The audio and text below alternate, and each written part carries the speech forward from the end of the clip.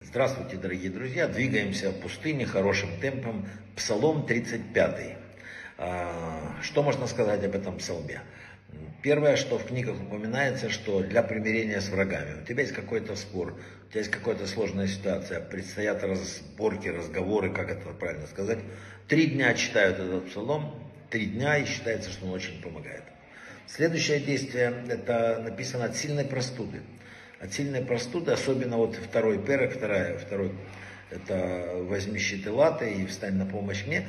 И как интересно, все каббалисты в разных книгах отмечают, что это просто вот действительно волшебный от сильной простуды, от простуды горла, вот этот псалом. А, что говорится о псалме? Что делать человеку, который со всех сторон окружен врагами? Пусть следует царю Давиду и произносит вот этот псалом. Далее, написано, если против него какая-то группа людей есть предстоят опять-таки сложные какие-то столкновения, взаимоотношения, э, читают именно э, первый перек, вот спорь Господи с противниками моими, псалом читают, а потом первый перек три дня каждое утро. Вообще в древних книгах написано, что дословно могу сказать, 35-й э, псалом – это молитва страшная и чудесная, чтобы с помощью этого псалма и при помощи Бога все враги стали шелухой на ветру, и ангел Господень их развеял. Вот так сказано.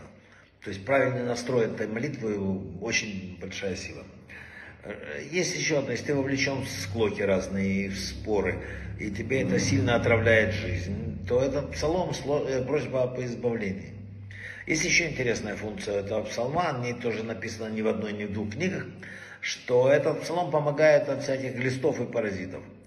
Э, надо читать этот псалом, а кроме того, э, надо вот шестой э, перек, вот шестой, написано, да будет их путь темен, и ангел Господень преследует. Положить правую руку себе на живот и прочитать три раза его обычно, а потом три раза наоборот после того, как прочел. Написано, что это невероятно действенное средство, вот такое вот, без лекарств, без ничего.